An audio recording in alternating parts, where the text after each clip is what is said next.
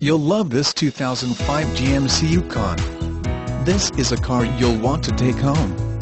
With 136,717 miles, it features automatic transmission and an exterior color of sport red metallic. Call us and be the first to open the car door today.